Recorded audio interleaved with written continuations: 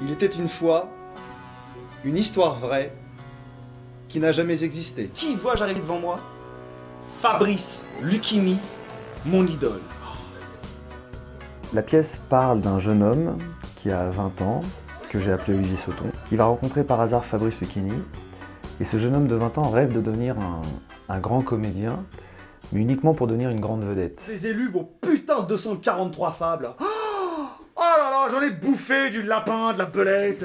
Mais tu sais ce que ça représente, la fontaine?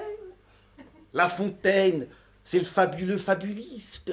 C'est un moraliste, jamais moralisateur. La fontaine, c'est le drame humain. Pourquoi je m'énerve? Il n'y a rien à jouer dans cette fable.